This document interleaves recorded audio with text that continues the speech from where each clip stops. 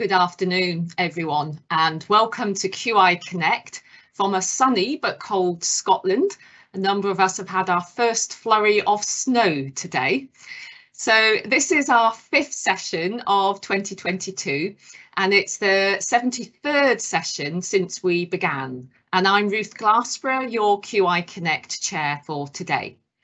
QI Connect provides an opportunity for colleagues across health and social care and beyond to learn from international leaders in the fields of improvement, innovation and integration. So welcome to QI Connect. I'm going to hand over now to Michael Canavan, who is going to take us through some housekeeping. Michael, over to you. Thank you very much, Ruth.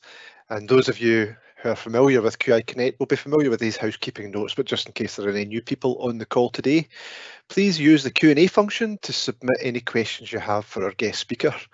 The session is being recorded and by taking part you consent to this. In the event of any technical issues at our end, please just bear with us and we'll, we'll work hard to bring the session back at the earliest opportunity.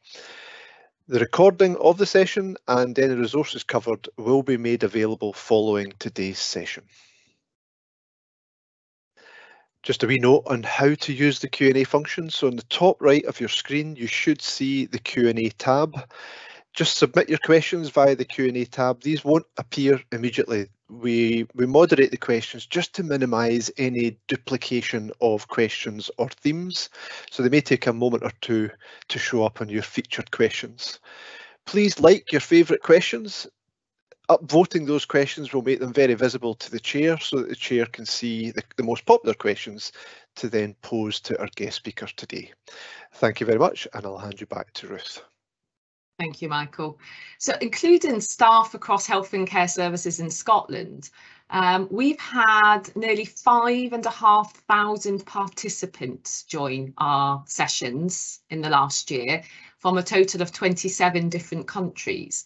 And since QI Connect started, we've had engagement from approximately 1,300 organisations, including 89 universities and colleges. I know a number of you uh, watched this back uh, on, on the um, recording. So hello to everyone as well who is watching us on the recording. So delivering QI Connect is very much a team effort. Um, and I always say this, what an amazing team it is. They do a fantastic job behind the scenes. So just to call out to all of them, thank you. And also a thanks to NHS Scotland's National Video Conferencing Service. They continue to provide us with excellent support for MSS Teams live events. And also please do remember to tweet as you learn. You can use the QI Connect hashtag and tag in our account. That would be great. And if you aren't already following us, please do give us a follow. So I am absolutely delighted today to introduce our guest speaker, Kedar Mate, President and Chief Executive Officer at the Institute for Healthcare Improvement. We consider him a friend of our work here in Scotland, not the least the invaluable input he provided to the work in Scotland on value management. Thank you.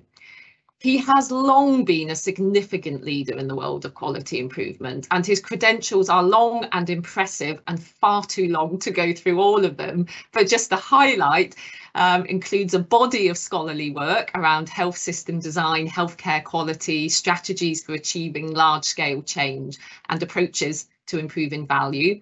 He has numerous honours, including serving as a Soros Fellow, a Fulbright Specialist, and an Aspen Institute Innovations Fellow. And his academic career, interestingly, started with a degree in American history from Brown University, before he then went on to obtain his medical degree from the prestigious Harvard Medical School. In his current role, he is promoting a much needed focus on issues of inequity. And part, prior to COVID, the inequalities gaps were growing here in Scotland. And the last two years have further exacerbated that. And we know that our current economic context is sadly to my, uh, sadly likely to make it even worse. And hence it has never been as important as it is now to ensure an inequalities focus in all our quality improvement work.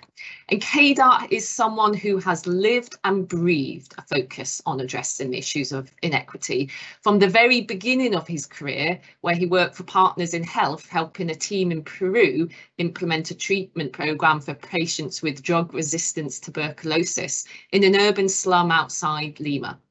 So he joins us today off the back of an extremely successful IHI forum, where it was clear from Twitter that this focus on inequity was threaded throughout. And today we have the wonderful opportunity to hear more about his thinking on this critical issue. And having had a sneak peek at his slides, I know you're not going to be disappointed. So Kedar, it is with great pleasure that I now hand over to you. Wow, well, uh, Ruth, thank you so much for that unbelievable introduction. Uh, I hope I can't disappoint you now. This is uh, it's really wonderful to be here. Uh, thank you for the opportunity uh, to join all of you. Let me just check a couple of things before we get going here. Can you see my slides and can you see and hear me okay? Yes, okay, I see the thumbs up. So with that, let me get started. I'm, I'm really thrilled to be part of this conversation. I'm excited to be with you. Uh, I'm really grateful to the organizers uh, for not putting me up against uh, a World Cup quarterfinal game. Thank you very much. Um, and I'm really grateful to have the opportunity to take a moment to speak to this global community. Uh, of course, uh, uh, a group I know from Scotland who we've been partnered with for now going on our second decade or longer. It's been a thrill to work with the, the health system in Scotland for IHI, uh, a strategic partner of IHI's for so many years, and truly a, a pathfinder, a groundbreaker um, in so many different dimensions of quality and healthcare improvement. So it's a real privilege to be part of this conversation. And I thank you for your time. I know this is a difficult time for so many of you um, in the health sectors uh, across the world. So I thank you for your time, for your work, and for your trust and your courage uh, during these extraordinarily challenging moments all across the globe. Um, let me just say right at the beginning, I'm going to offer you a number of stories here about inequity, about challenges to our workforce, and uh, I'm going to address them from the lens that I know the best. I, as you can tell from my voice and uh, my accent, I am uh, American. I I uh, am of Indian origin, uh, but my my home is is in the United States. Um, and I have been here for many years. Uh, as Ruth mentioned, I trained here and I practice medicine here in the US.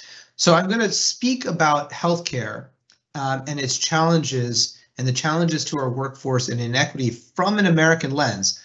But I believe the issues that we are grappling with today are truly universal, are truly global in nature. So uh, with that heavy caveat and your permission and grace, let me start with a, a brief story. About six months ago, I was at a uh, what is sometimes known as a uh, a soccer match here in the U.S., but I know you all call it football. So I was at a football match and I was watching my son and his um, my nine-year-old son Bodhi. That's him next to the referee there, uh, miles away from where the action actually is taking place with the ball. But I was watching my son and all of his uh, friends and colleagues uh, trying to figure out how to pass the ball to each other and and get it into the goal. It was a, a gorgeous, a beautiful late spring Saturday morning. And I was on the sideline, as you can see from this picture, uh, taking pictures with my phone. And uh, suddenly my phone dinged with a text message. Uh, this one was from Donald Berwick. Uh, many of you know Don uh, as the uh, one of the inspirational founders of the quality movement in healthcare.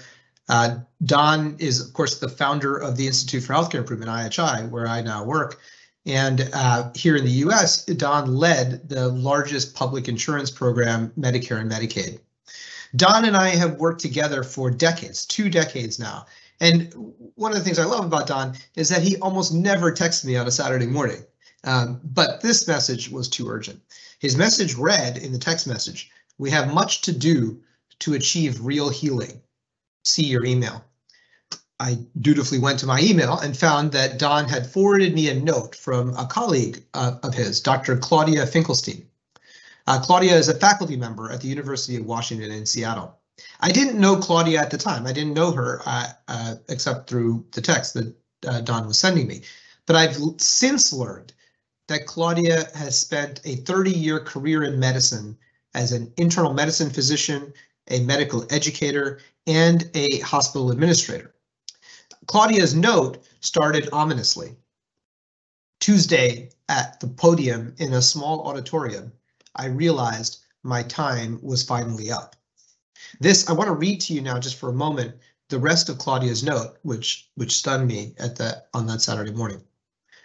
Early on, Claudia wrote, my work's purpose, the meaning in my work and the love were easy to access. The rewards of my work easily outweighed the inevitable stresses of a clinical life.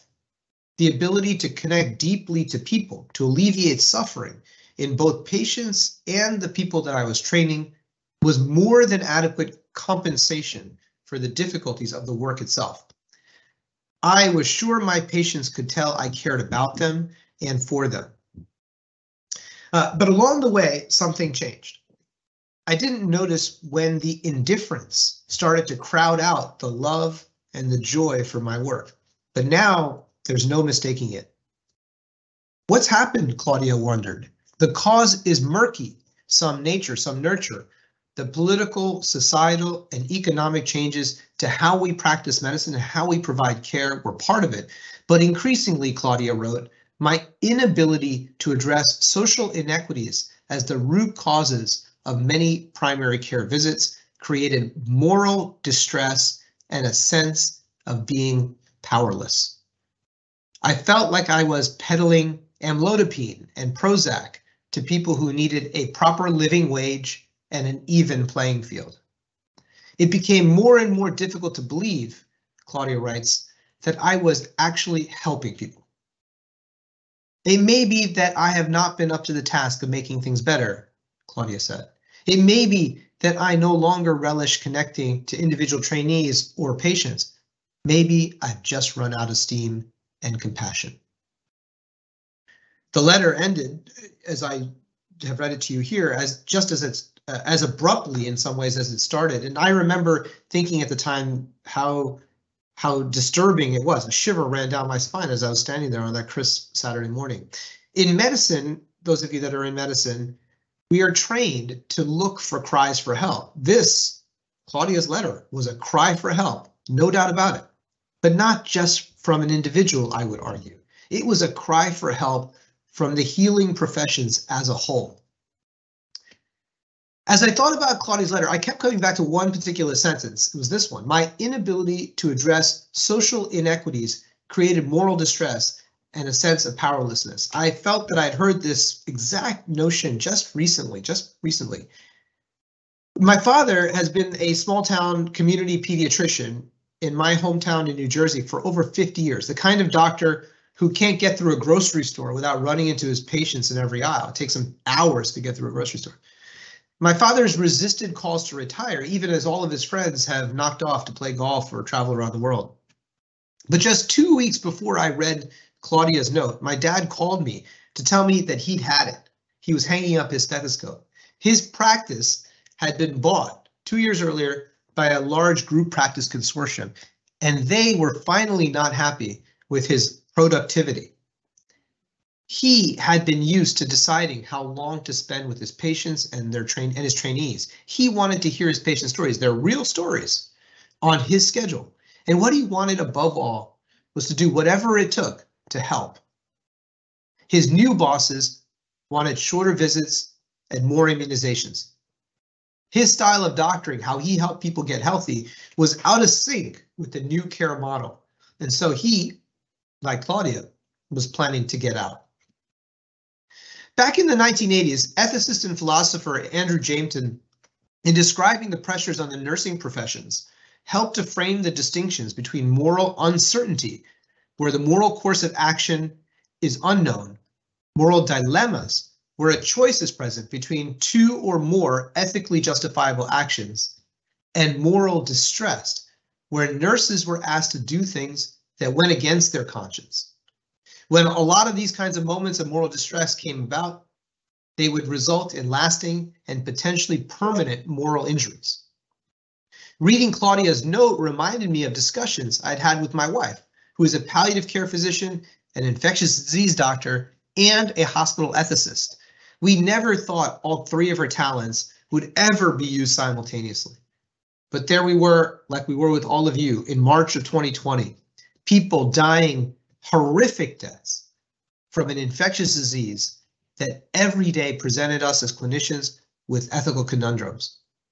In those early days, we would talk, my wife and I, about the impossible choices she was having to make. Horrible choices like who to give ICU beds to, how to divvy up the precious ventilators that were present in our hospitals, what care should be delayed or permanently put on hold. Horrible, mind bending choices that grated against her oaths and her obligations to heal. When she left clinical practice at the beginning of this year, I asked her if she felt burnt out. She refused the label. That's not how I feel, she told me.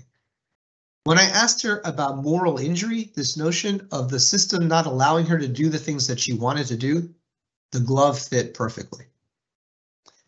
Our impossible choices felt new and different during the pandemic, and yet they were also very familiar. For years, we've been making these kinds of choices in healthcare. Every day in hospitals all over the world, we, uh, we force suicidal adults or teenagers to wait in emergency departments for days on end with nowhere to send them.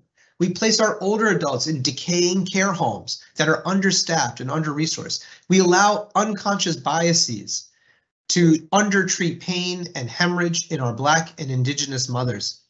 And we force our poorest and most vulnerable patients to travel the longest distances because there is no quality healthcare in their communities. In the US, healthcare, in my country, healthcare regularly confiscates, confiscates the funds we set aside to educate our children, care for our elderly, and provide options for our poor. There's a lot written about burnout these days. Global surveys suggest that one in three clinicians are considering leaving their jobs. In the US, one in five healthcare workers have already quit or changed their uh, jobs, and a quarter want to leave healthcare altogether. Organizations have invested in wellness programs and other efforts to bolster resilience, yoga, personal restoration, exercise schemes, food, food, uh, you know, food parties. More mature programs offer mental health services for our healthcare workers, increases in pay, more time to execute non-clinical tasks. None of these things are wrong or bad, but the pressures on our system and our people are too great, and these fixes are far too superficial. What's more, I believe they fundamentally miss the diagnosis. In a survey of over 5,000 clinicians in, in the US, Colin West and colleagues from the Mayo Clinic found that physicians and nurses don't lack resilience. In fact, Professor West proved what so many of you on the line today already know. In general, healthcare professionals, healthcare professionals are more resilient than the overall public. And yet, despite that resilience, our colleagues were and are experiencing unprecedented rates of burnout. What exactly is going on? The problem, I believe, isn't the resilience of healthcare workers. The fault is baked into our systems. Dr. Wendy Dean, a colleague and friend, of, is a psychiatrist and surgeon in Boston. And uh, Dr. Dean and her colleagues, uh, Simon Talbot, have worked for many years with Army veterans and survivors of conflict zones. She recently founded the organization that you see here on the screen, Moral Injury in Healthcare, which focuses on helping healthcare workers. Wendy said in a conversation we had recently, there are a lot of roads that lead to burnout, but the highway to burnout is moral injury.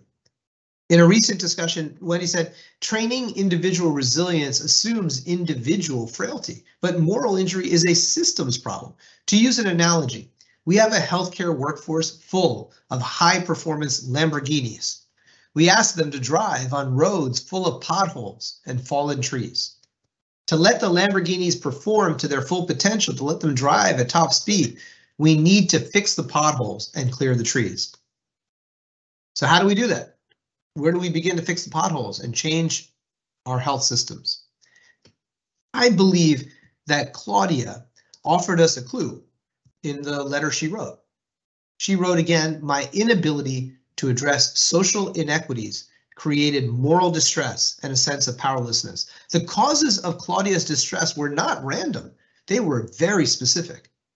In a conversation with her, she told me a story after story of patients whose wounds were not just physical but social and whose risk was compounded by their life circumstances. We spoke about a patient midway through breast cancer treatment who lost her health insurance during the pandemic and didn't complete her care. Individuals who became food insecure, lost the ability to get healthy foods as families lost their jobs. We spoke about adolescents who were increasingly anxious, depressed, even suicidal, for whom the only options were expensive mental health services that were out of reach. But more than anything, we spoke about social circumstances of our patients, unstable housing, weakened safety nets, lack of family support, conditions that disproportionately affect populations that have been chronically under-resourced and chronically under-supported. For these patients, Claudia spoke about the frustration of prescribing medications that she knew her patients could never afford and that would never cure the true causes of their suffering. But here I believe lies an opportunity for all of us and perhaps a way through the fog of moral injury. I had always imagined, I'd always believed that if we work to improve health equity, we would improve the lives of those who we provided care for, the patients, the families, the communities. But what I didn't realize until I spoke with Claudia and read her note was that working on equity would be healing for us as healers. So let's talk about inequities for a moment. I expect that in your countries, you will have different definitions of what it means to have uh, health inequality or health inequity. There are many definitions of inequity. I, I use this one from the Centers for Disease Control here in the United States. They define health inequity as this, a difference or disparity in health outcome that is systematic, avoidable, and unjust. And the reason I like this definition, there are two reasons. One, because it involves the notion of justice in the definition, which I believe is central to what causes inequity. And the second reason I like it is that because of the work that we do together as a community of quality improvers, systems thinkers, and patient safety experts, in our line of work, inequities are examples of variation. Unwanted variation, variation that is systematic, avoidable, and unjust. And just as we have with so many other kinds of variations, we know how to eliminate this kind of variation. And we know variation is costly to our systems and societies, both in real dollars and more importantly, in real lives of patients and our staff. Inequities are variation. There's no question about it. A special kind of variation driven by multiple histories that are different from one country to the next of oppression and structured injustice. Your country will have a different story of inequity than mine. They're so embedded that we often don't even know that they're there, these inequities. We believe we apply all of our reliable care processes exactly the same for everyone. We think we do it, but do we do it? Do we have the courage to look at the data, what the data actually tells us? Because when we look at the data, we find inequities in almost every aspect of society. Here are data from the United States across healthcare, education, criminal justice, child welfare, and economic indicators from our friends at the Groundwater Institute. These data show that compared to white people in, in the United States, white folks, Black Americans, Native Americans, and Hispanic Americans experience significantly worse outcomes across every measure. The relative risk of an infant, a baby dying, a Black baby dying, is two and a half times greater than compared to a white infant. The risk of incarceration for a black person in the United States is five times greater across the whole country. For Native Americans, the need for foster care is three and a half times greater. In some southern states, the risk of an adverse outcome, the relative risk of a bad outcome can be up to 10 times worse for Black Americans compared to white Americans. But lest we think this is a problem of only southern states or only part of your country, here are data from liberal, progressive Massachusetts, where IHI is based. We believe the Northeast to be a place where these kinds of things don't happen. They happen. Inequities exist everywhere. It was it was five years ago that I first heard this story, and I want to just tell you the story briefly here today because it's one that deserves to be retold. Dr. Shalon Irving, at 36 years of age, had been one of us. She was an epidemiologist, a lieutenant commander in the Centers for Disease Control's Epidemic Intelligence Service. She worked on infection control. She worked on the Zika pandemic in multiple countries around the world. She worked on HIV. She worked on a number of different infectious diseases. She had studied inequity in those contexts across the world. She had studied lack of access to healthcare. She had studied how generational trauma led to adverse outcomes. In April 2016, Shalon, who had been hoping to become pregnant for over a year, learned that she finally was. She was overjoyed. She wrote to a friend who was also pregnant at the time. Let's finally go for our rainbows and unicorns, she wrote. She bought a crib, as seen here. She painted a room. She chose a name for her baby, like all of us do. Shalon weathered the physical challenges of pregnancy her blood pressure rose a few times, but always fell back to normal. But still, at 37 weeks, it was time for her daughter, Soleil, Sunny as she would be known, to be born. This was a moment of pure joy, a moment shared across three generations, pictured here in the photograph on the left.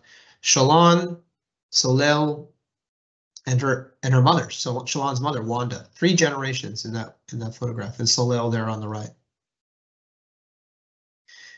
The holes in the Swiss cheese began to terrifyingly align in the postpartum period. A familial clotting disorder that Shalon had in her family, a small incisional abscess that drained for much longer than it should have after a cesarean section, asymmetric swollen legs, multiple occasions upon which Shalon's blood pressure rose from 130 over 85 to 158 over 112 to 174 over 118. Emergency workups should have been initiated, but they never happened. And most critically, Shalon's own feeling. There is something wrong here, she told so many of us. And the words of her friends and her mother were dismissed over and over and over again. On January 28, three weeks after giving birth to Soleil or Sunny, Shalon Irving, the public health researcher, equity champion, and recent mother, died a completely reversible death.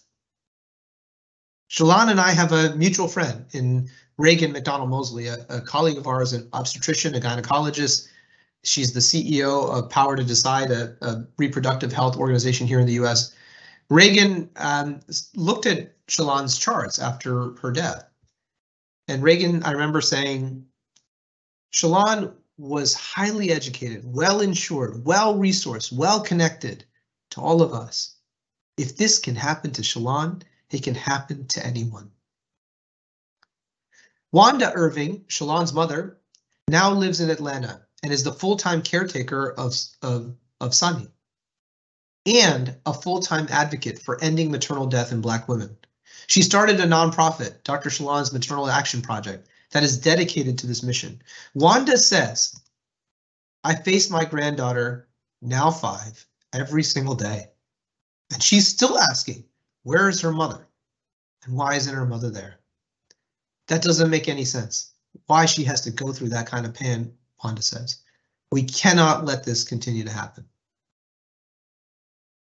Health inequities cause massive clinical harm, and they cost us and our societies dearly. By some estimates, every year we waste $320 billion here in the US due to our inattention to health equity. For perspective, we waste more money on health inequities than the federal government here in the United States spends on housing, public housing and public education combined. By 2040, health inequities are projected to cost our country, my country, over a trillion dollars. As my colleague and mentor, Dr. Mark Smith likes to say, if you don't believe inequities cause harm, you haven't been paying attention. And here's the thing, inequities like these don't just harm black people or poor people or transgender people, they are harmful to every one of us. Here are data recently uh, from a slide from the Commonwealth Fund from, the, from literally a week ago on maternal mortality across 13 of the most developed countries in the world. Many of you are probably from these countries. My country, the United States, rates dead last on this measure by a wide margin. More women die in childbirth in America than in any other wealthy nation. Many of you are maybe familiar with the fact that for Black women in America like Shalon, the risk of death is four times higher than the nearest other nation. But here's the thing. Look at the data for white, Hispanic, white women and Hispanic women as well. These are white American women and Hispanic American women.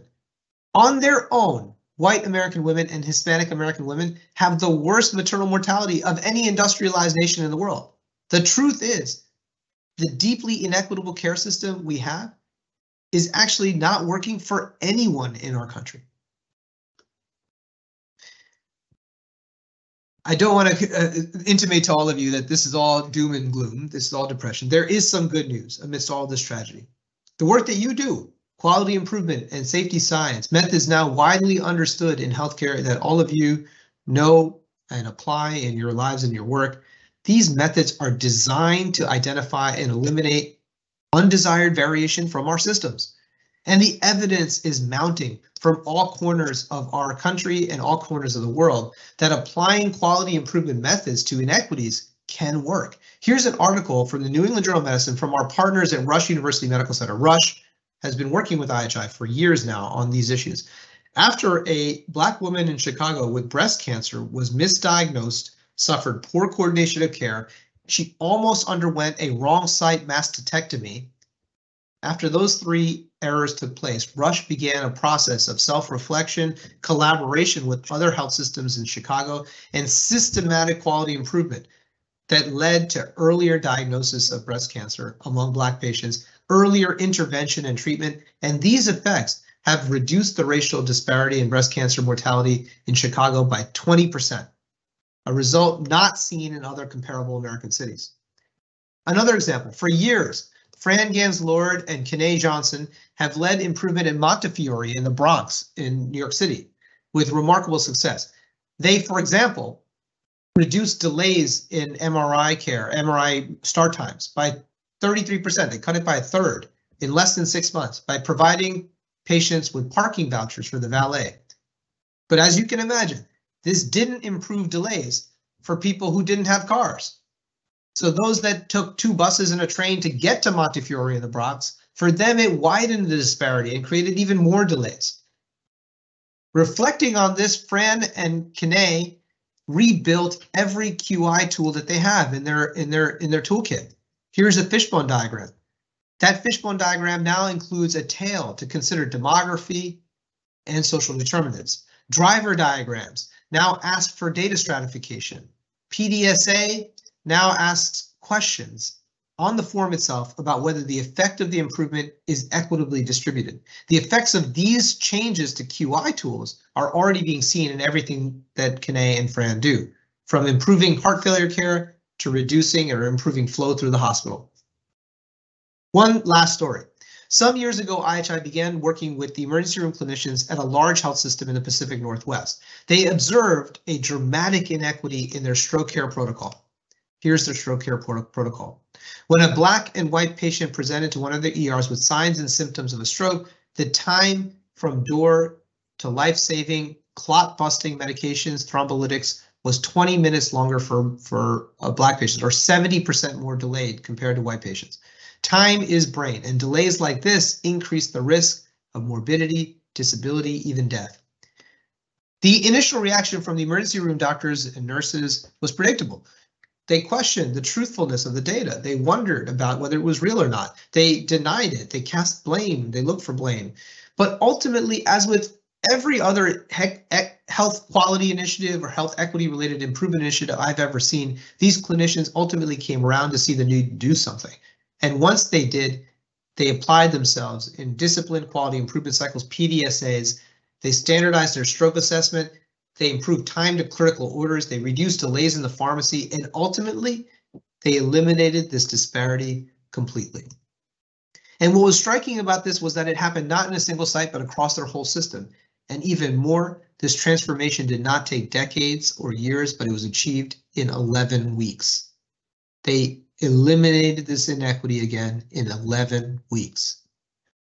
Too often we get trapped, I think, in our sense that these inequities are impervious to change. We cannot change them, that racism, sexism, homophobia are so structurally embedded that to tackle them is beyond our scope of practice as clinicians. But here is an example. What you see on your screen is an example of how clinical teams and quality leaders in healthcare today, equipped with the knowledge and tools to make effective changes and change the story, can undo these structural challenges that have long plagued our societies and our communities. I don't want to for a moment say that this will be easy. It won't be. But I also think it's crucial for us to change the narrative around inequities. They are not inevitable. Things can, in fact, improve.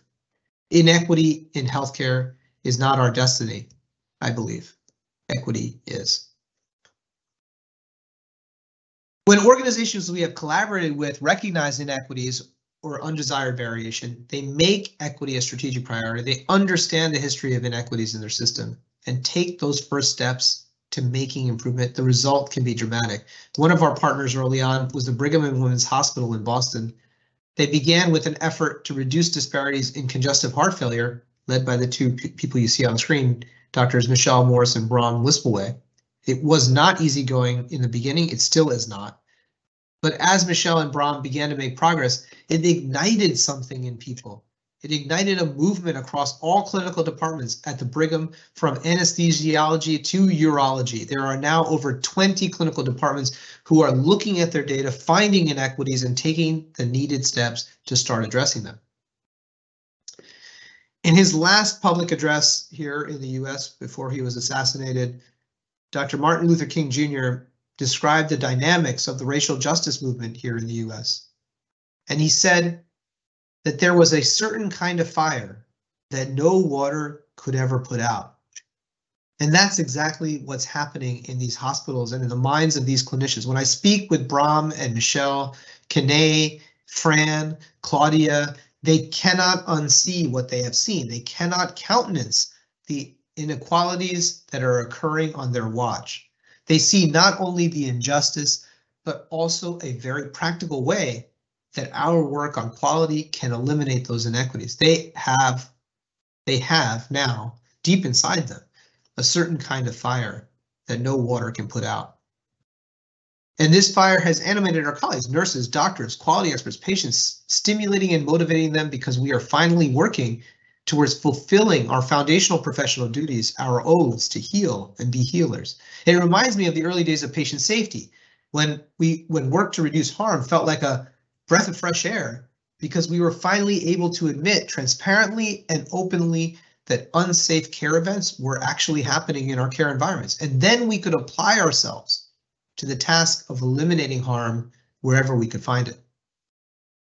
And this is the point that draws us back to the concept of moral injury. This work on equity, this fire that no water can ever put out, lives in the hearts of so many of us. Our collective failure to address these social inequities, Claudia wrote, left her feeling, powerless. But just as well, our ability to seize control of these inequities, to eliminate them wherever we can find them, can help us, I think, feel powerful once again. I've seen it. For the past five years, IHI has worked with dozens of health systems committed to pursuing health equity all across the world, really. These amazingly successful programs have been incredible. But the time we believe at IHI has come for a system-wide approach, not just the providers and health system actors, not just the doctors, nurses, pharmacists, uh, technicians, and others, but we need payment to align. We need regulation to align. We need commissioning to align. We need the pharmaceutical companies and professional societies and others to come alongside one another to align our activities to reach the kind of scale we need to make a whole the whole ecosystem of healthcare more equitable. And it's for that reason that we've joined hands with the American Medical Association in my country, Race Forward the Groundwater Institute, the American Hospital Association to create a national coalition that we create that we call the Rise to Health Coalition which is aiming to end health inequity in healthcare. This is an American coalition, but it need not be an American coalition. There could be an international version of this. Could there could be a rise to health in your country, and in fact, at the national forum at IHI uh, just yesterday and the day before, as I announced this coalition, I could see already in countries throughout the world the start of similar ideas. How can we create a rise to health in the UK? How can we create a rise to health in Scotland? How can we create a rise to health in parts of sub-Saharan Africa? How do we do that in Brazil? It was thrilling to imagine the stakeholders will be different, the, the partners will change, but the idea of doing this can be, we can do this together.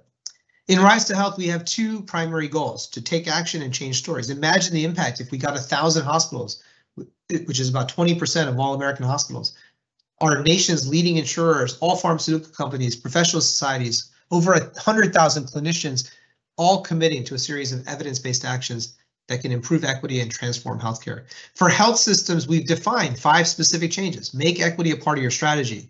Get grounded in your local community's history.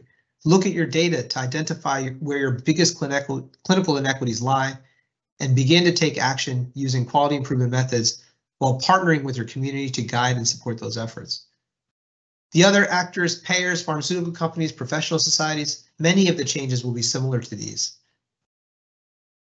Over the last two years, IHI has collaborated with one such payer, Blue Cross Blue Shield in Massachusetts, on an example of the kind of cross-industry partnership that we think is going to be necessary to help us. We help BCBS collect gold standard data, uh, stratify and transparently report inequities, and then support their providers with technical assistance and grant funding to kickstart equity improvement initiatives.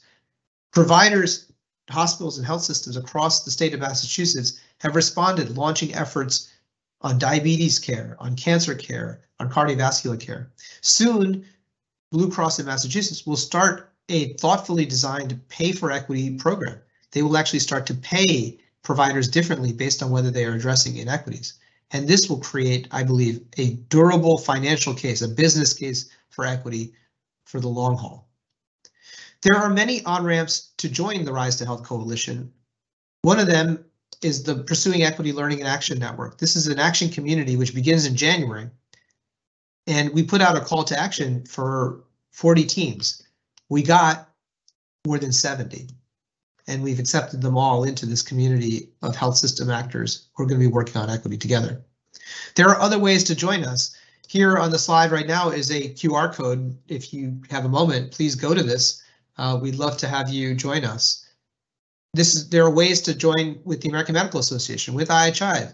If you're looking to get started as a healthcare professional, IHI's Open School and AMA's, the American Medical Association Center for Health Equity, offer numerous free credit-bearing courses on health equity, anti-racism, and advancing equity through quality and safety methods and practices. Take one of these courses, find a few colleagues to share the experience with. I promise you it will change your perspective on what we need to change and how we need to change it. But beyond this, the specifics of what health systems, payers, professional societies, and others will do, I think that what the bigger opportunity is in all of this is the idea of changing the story. Changing the story of health inequities from one of despair and analysis paralysis to one of hope, possibility, and transformative collaboration. Let me stop now with one last notion here, and it comes. Uh, it's my belief that our work on equity will have the restorative and regenerative effect of helping us heal the health professions. At IHI, we have a saying that goes, every system is perfectly designed to get the results it gets. If we want a different result, one that honors the brilliance and contributions of dedicated clinicians like you've heard about today, like Claudia, like Fran, like Kene, like my father, and so many others. We must change the system. And as it turns out, the only people who are capable of restoring trust in our systems, ending the epidemic of moral injury, creating lasting health equity are all of us. Earlier this year at a IHI Leadership Alliance, a, a physician from Maine, Dr. Navneet Marwaha, noted the long road ahead of us. And she said, just remember that you are entirely up to you. And by the end of our few days together, everyone was quoting this moment and this this notion of we you are entirely up to you. But as with all good IHI meetings, we had added something. You are entirely up to you, yes. And we are entirely up to us. So thank you. I hope you'll consider joining Rise to Health or starting one of your own in your environments. And I look forward to your questions. Thank you so much, Kedar. And that exceeded expectations. You've managed to inform, inspire, move, um, and motivate us whilst at the same time providing so many practical tips about things we can do moving forward. So I'm going to turn now to our guest questioner, who is Richard McCrory. He is a specialty doctor in renal medicine from the Ulster Hospital in Belfast. Richard, over to you. Thank you, Ruth. Um, Kedar, that was a very emotive talk, actually. So thank you very much for sharing that with us. It's given a lot to ponder. Um, my question is about dignity. Um, the IHI has helped healthcare systems deliver dignity as an essential component of patient-centered care, and I think uh, you've tied that in very much so in, in your talk. But workplace dignity remains an underexplored aspect of healthcare organisations so in your view, what practical steps could be made to push the workplace dignity agenda and what can organisations, departments and individuals provide to enable healthcare workers to find dignity in their work? Well, thank you so much, uh, Richard, for that question. And uh, I really think this is a, an, a really incredibly important time for us to think about how to restore dignity to the work environment. Um, I think it ties in very much so to this notion of moral injury. Uh, of course, you can you would imagine me saying that having just heard me for the last uh, few minutes here, but I'm quite confident that what we're experiencing in the clinical environments today is the inability for us to do the things that we had imagined doing, and that creates a loss of agency, a loss of purpose to some extent, and a sentiment that we are uh, uh, being treated unfairly in the environment. I think to restore dignity begins with asking ourselves a, a question that we've been talking about at IHI for a long time. Uh, we've been talking about it from the perspective of our, our patients. We've been saying we have to ask our patients not what's the matter with you, but what matters to you. And that idea will help us become more patient centered. But let's turn that now for a moment and use the same concept uh, with the workforce and say, what matters to you, staff? What what matters to you, staff nurse? What matters to you, staff pharmacist or or, or doctor? Uh, when we start to ask ourselves what matters to you um, at the amongst our clinicians, we have the opportunity to understand what's important, what truly creates joy and meaning and purpose in the work environment. And if we can create conditions that then enable that, we're starting to do what is necessary to restore dignity to our care and work environments. So from my perspective, that's how it begins. That's why IHI's joy at work framework uh, begins with the notion of asking what matters to you, to the staff, and then extends from there to detecting what are some of the critical challenges that we experience on a day-to-day basis, what we call the pebbles in our shoes, those little uh, minor irritations that compound themselves over time and, and erode our confidence, erode our abilities, and, and, and frustrate us. And then to use disciplined improvement science to try to reduce those kinds of challenges and, and eradicate them. That's the essence in, in a nutshell of what the IHI Joy and Work Framework is. And we're finding now across 17 nations that are now implementing the Joy Framework that it's creating a deeper connection to to the work to the workplace. It's creating more meaning. It's creating uh, uh, more joy and restoring dignity in the work environment. Thank you. That was a great answer to that question. Um, so just to remind our audience, we do have the ability for you to submit questions. We've got quite a few already um, and we've got about another seven minutes for this so please do feel free to submit more but what would be really helpful as well is if you could like uh, those that are already there that you particularly want to see asked. It just helps me to know uh, where the audience uh, preferences are, though I will reserve chair's prerogative if I see a question um, that looks particularly pertinent and has only just come in. So Kedar, the, the one that's had the most votes, I think you've already answered this throughout the presentation actually, but I think it's interesting that it's this is where folk are really wanting to hear more, which is around how best the healthcare workers at the front line on the shop floor can begin to address the challenges brought about by health inequality. And, and I think particularly where folk are working in a context where maybe there isn't an organisational recognition of the importance of these issues. So I just wonder if is there anything more you would want to say in terms of advice to those individuals? Yeah, first of all, I think that so right. So the two ways of answering this question. One is take one of those courses. I think it, I mean, I cannot tell you how important it is for us to get smarter about our unconscious biases. You know, make the invisible visible, as my uh, good friend Atul Gawande uh, once said to me. You know, by taking one of these courses on on uh, on unconscious bias, you raise or bring into your consciousness the biases that you might be exhibiting as a provider or as a clinician things that you think you are not doing.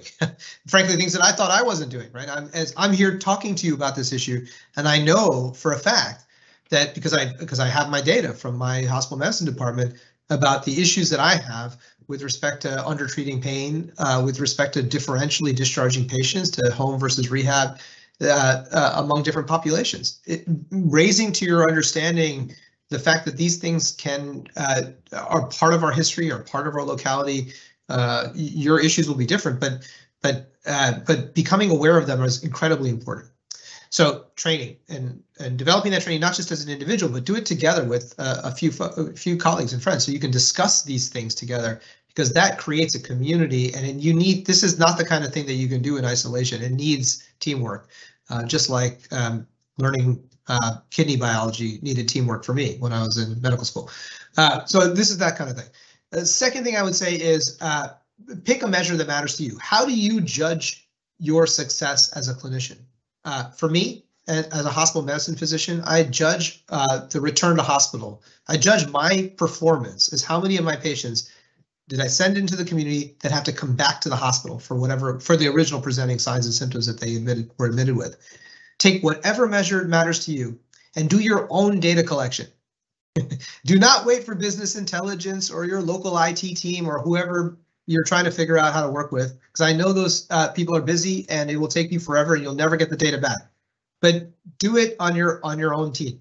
Uh, pick a measure that matters. Start capturing information about that measure that you can collect. Um, ask your patients how they self-identify by race, ethnicity, language, language, disability status, sexual orientation, gender identity. You can ask them yourself and then start to uh, identify where there might be uh, opportunities to make improvements.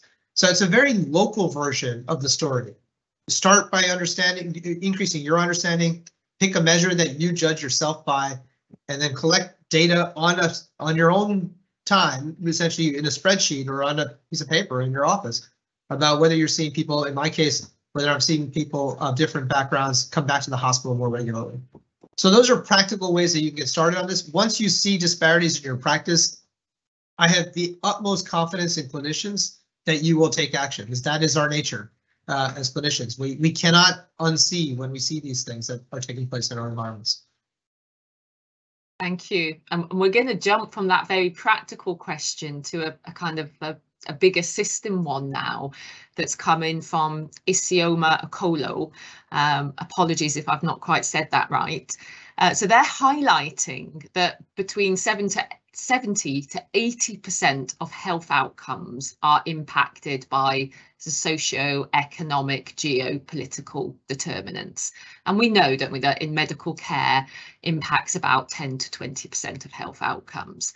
So the gist of the question is, for individuals working in acute hospitals, where they know that the majority of out impact on outcomes is going to be the 70 to 80% in social determinants. What what can they do? Because it can feel beyond the scope of practice of somebody working in an acute hospital. And they're saying it sometimes feels a bit helpless and a waste of resources, patching over cracks in an acute setting and not contributing to root cause prevention level work. So any reflections on that?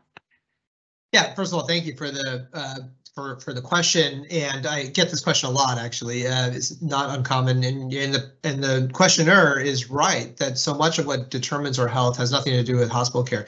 However, I always have this sort of gut reaction to this question because when when you are facing a metastatic cancer or uh, a trauma or have a stroke or have a heart attack.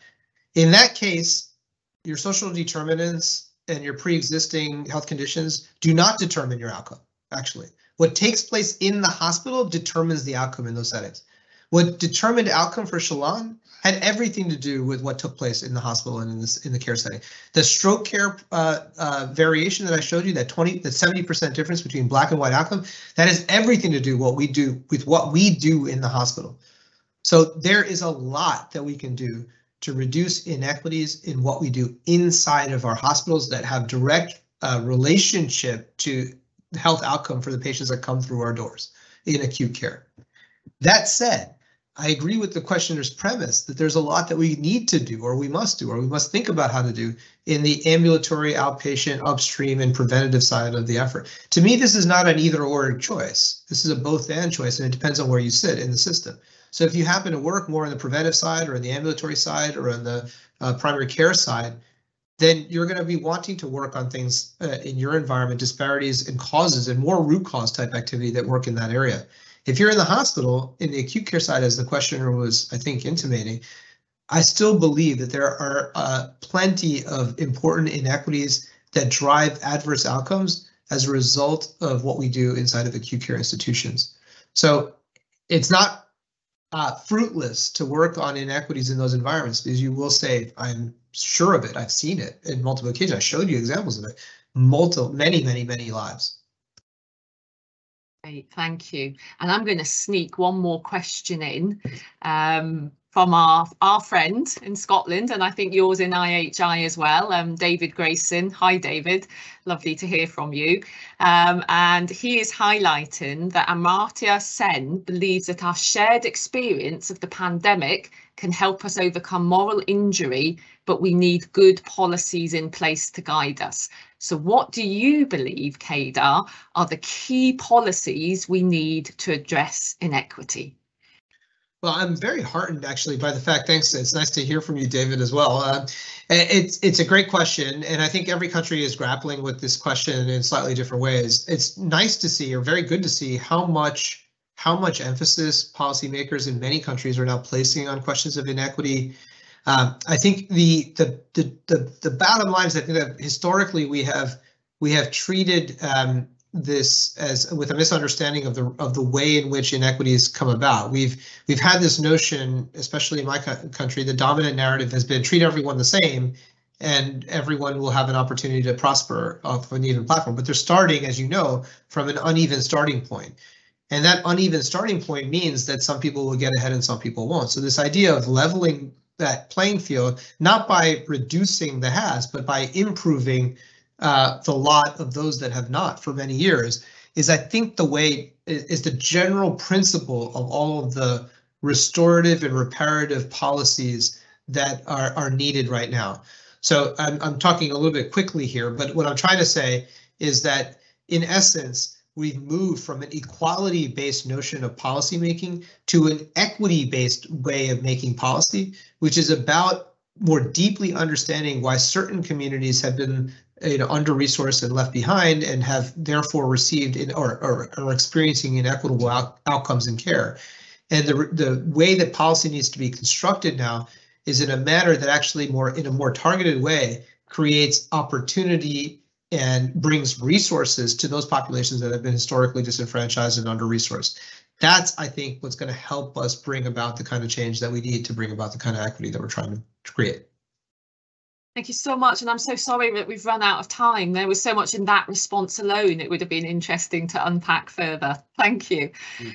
Um, just before we finish up, to highlight, we are joined next time in January by Dr. Stephen Shorrock. So this is our third attempt at trying to hear from Stephen. Unfortunately, the first time we cancelled him because it was a, a, peak of a COVID wave in Scotland and our system was under enormous pressure. And the next time um, we cancelled him because we were in an official mourning period for the, the death of our Queen. So um, this is our third attempt in January. We're hoping third time lucky.